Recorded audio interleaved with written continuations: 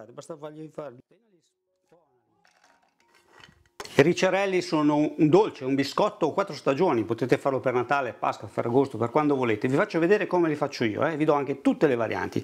200 g di mandorle pelate, già pelate, io li tosto un pochino in padella, questa è una cosa in più, è una cosa mia per dare più sapore. Se volete lo fate anche voi, se no non lo fate e le usate naturali come sono. Padella, due minuti. Per pelare le mandorle basta metterle a bagno una notte nell'acqua fredda e la mattina schiacciate e viene via come un calzino la buccia oppure mezz'oretta nell'acqua bollente oppure le comprate già pelate come ho fatto io, che fate prima. L'hai fatto te perché sei un pigrone.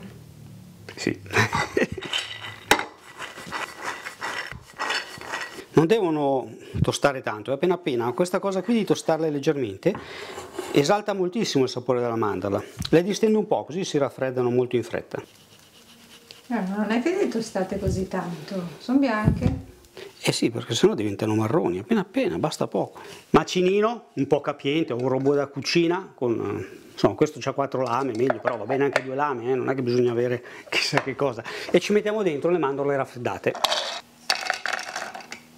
100 grammi pesati di zucchero a velo, eh, ricordo 200 di mandorle, 100 di zucchero a velo. Di questo zucchero a velo qua ricordate di prenderne un bel cucchiaione e di metterlo in un pentolino a parte e tutto il resto lo mettiamo insieme alle mandorle.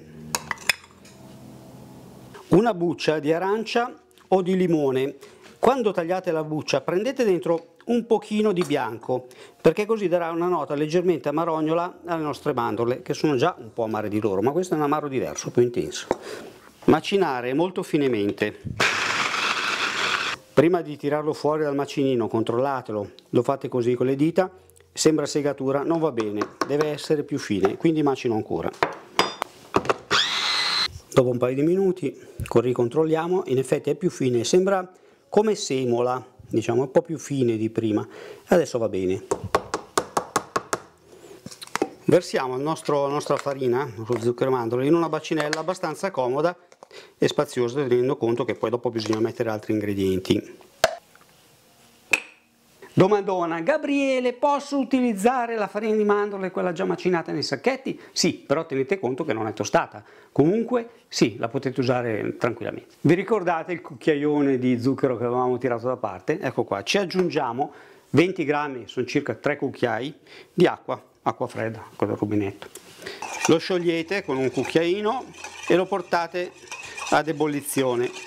Ma mica si vede? Eh? Dopo lo faccio vedere quando bolle. È troppo piccolo questo tegamino? È piccolo, per fare tre cucchiai di acqua mi devo usare un pentolino grosso, un baracchino va benissimo. Sta bollendo, lo vedi che bolle? No. Te, bolle, fidati. bolle via dal fuoco. Aggiungiamo questa specie di sciroppo di zucchero alla nostra farina. Nostra? Mi correggo alla mia farina, non la nostra, è mia. Vaniglia, se, se, vi piace, altrimenti usate anche altri aromi, eh, quello che vi piace. Anche va bene l'aroma di mandorle amara, ci sta bene. Ci metto 20 grammi di amido di mais. Devo dire che non va bene la fecola però, perché lo tostate. Il profumo si sente tanto perché lo tostate. Sente da qua. Intanto che sbatto il bianco di un uovo, eh, volevo dirvi di non usare la fecola, eh. usate l'amido di mais. La fecola non va bene per questa ricetta serve l'amido, un bianco d'uovo leggermente sbattuto, buttiamo dentro, non montato la neve che è inutile. Mischiare con un cucchiaio, con un dito, con quello che volete. Una volta mischiato, quando vedete che iniziate a fare un po' fatica, vi cucchiaio dentro le mani e non tutte le uova sono grandi uguali, non tutte le mandorle assorbono la stessa farina, quindi se per caso lo trovate troppo appiccicoso, ci aggiungete ancora un mezzo cucchiaio o un cucchiaio di amido di mais.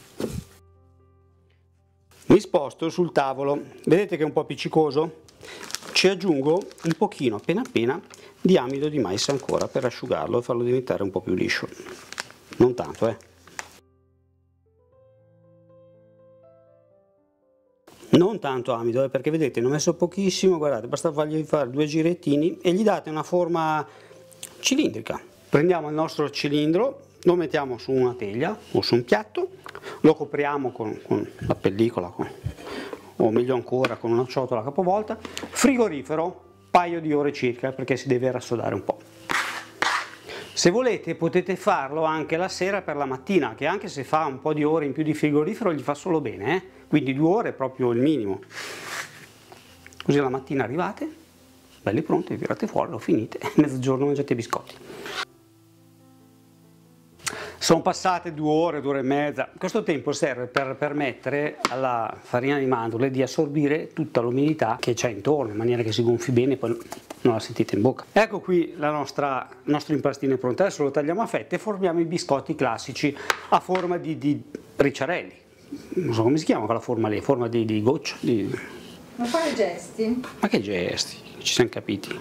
Spatolina, tiriamo su il nostro impastino, lo mettiamo su un asse nello stesso piatto abbondante zucchero a velo, tranquilli che dopo lo setacciamo e lo recuperiamo, eh? deve essere abbondante. Tagliamo delle fettine alte circa un centimetro. Potete usare anche dello zucchero sotto se avete paura che si appiccichi. Cercate di dargli una forma comunque regolare, un taglio regolare.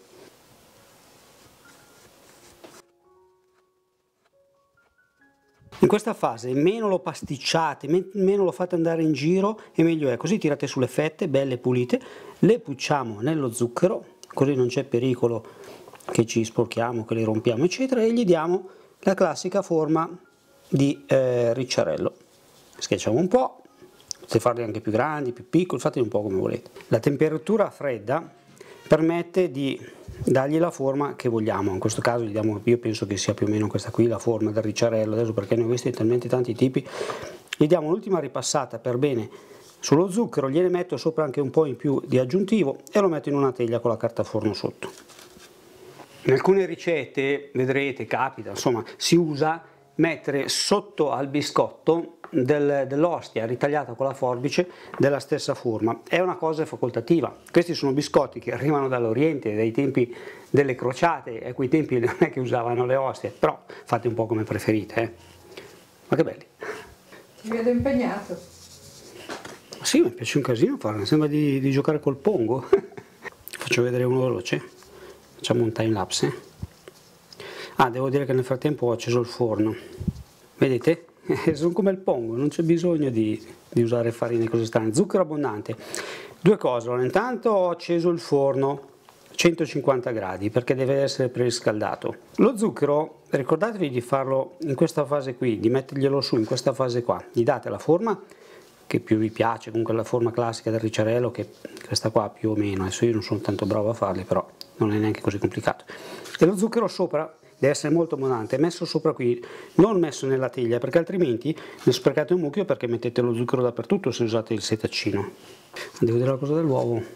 Gabriele, posso farlo senza uovo? No, mi dispiace ma senza uovo non sta insieme. E si sbriciola tutto. L'uovo che lo tiene insieme. Ok, aspetta, mi lavo le mani. Questo qui l'ho detto che lo recuperavo, sì. Dai, dolcezza. Dolcezza.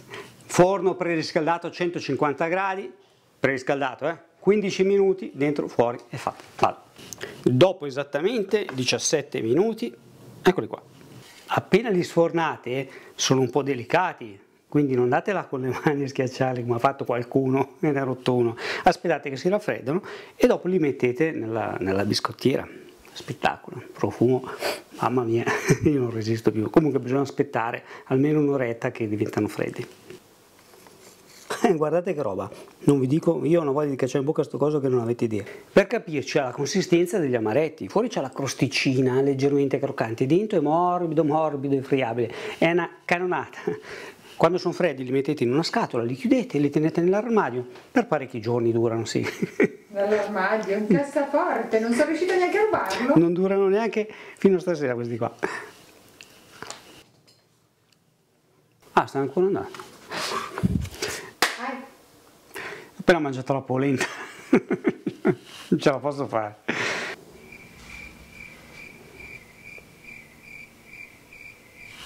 Tocca a me e non mi dici niente, sono qua come una pirla. finito di pulire, sciormaria. Vai bello. Olè, tu com'è? Ciao, faccio io il ciac. Ciac, si gira. Hai acceso il microfono? Yes. Vado. Vai. I ricciarelli, facciamo i ricciarelli. Come facciamo? Faccio i ricciarelli. li facciamo.